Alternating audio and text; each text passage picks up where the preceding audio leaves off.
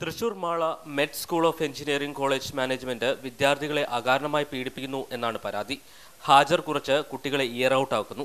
Internal mark വെട്ടിക്കുറയ്ക്കുന്നു കള്ളക്കേസിൽ കുടുക്കി ഭീഷണിപ്പെടുത്തുന്നു എന്നതുൾപ്പെടെയുള്ള പരാതികളാണ് വിദ്യാർത്ഥികൾക്കും രക്ഷിതാക്കൾക്കുമുള്ളത്. മാനേജ്മെന്റ് പോലീസും ഒത്താശ നിൽക്കുകയാണെന്ന് വിദ്യാർത്ഥികൾക്ക് പരാതിയുണ്ട്. ഞങ്ങൾക്ക് ആത്മഹത്യയുടെ വക്കീലിക്ക് എത്തിക്കുന്ന ഒരു സമീപന പ്രിൻസിപ്പാളുണ്ട് എന്താ പറയുക അടുത്ത തന്നെ അവിടെ ഒരു ജിഷ്ണു പ്രണോയ് വീണ്ടും ഉണ്ടാവും. ഇന്നും കൂടെ കോളേജിൽ സർക്കുലർ ഇറങ്ങിയിട്ടുണ്ട് മാസ് പെറ്റീഷൻ ഫയൽ ചെയ്ത് കൊടുക്കുന്ന ഒപ്പിട്ട് കൊടുക്കുന്ന പിള്ളേർക്ക് എതിരെ സിവിയർ ആക്ഷൻ ഉണ്ടാവുന്നു.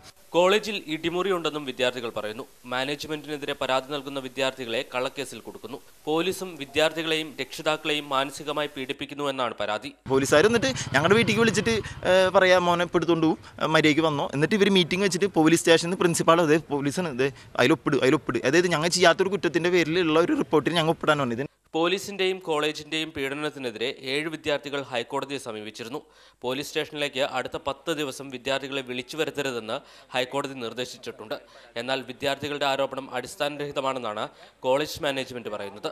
മാതൃഭൂമി ന്യൂസ് കൊച്ചി.